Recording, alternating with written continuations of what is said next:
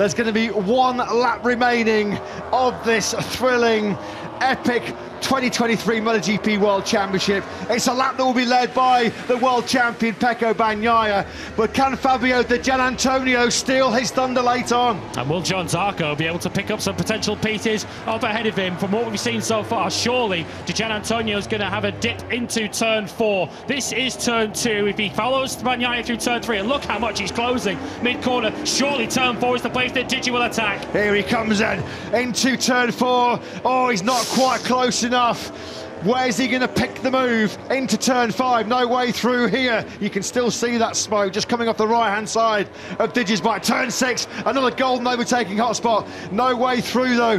How much does Bagnaia want to retain his world title from the top step of the podium? Well, he's going all in here in this all or nothing battle. Well, remember yesterday, Fabio Giannantonio didn't want to put a move on Pecco Bagnaia in case it was clean because he knew what was on the line. He probably should know by now that Bagnaia is champion anyway, so Giannantonio will surely attack in these corners that remain.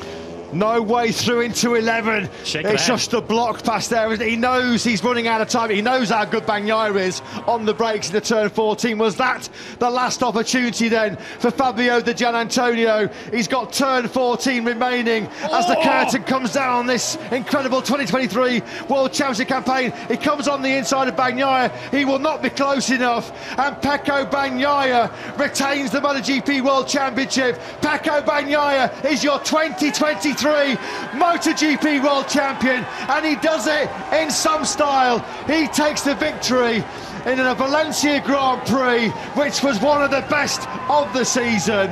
What a season for Ducati and for Pecco Bagnaia. He retains the World Championship, the first Italian to do so since Valentino Rossi back in 2009. Just the fourth Italian to win more than one Premier Class title only the 13th rider in history to win back-to-back Premier Class titles. Pecco Bagnaia, congratulations, the 2023 MotoGP World Champion. Di Giannantonio takes second place. Johann Zarco takes third. An eventful Grand Prix for Binder in fourth. A career best, excellent fifth place for Raul Fernandez. Cue absolute delirium. Cue pandemonium down inside that factory Ducati garage. What a season. What a way to finish that incredible season. An embrace there between Pecco Bagnaia and Fabio Di Giannantonio, leaving nobody in any doubt as to the reason why Pecco Bagnaia has the number one plate on the factory Ducati.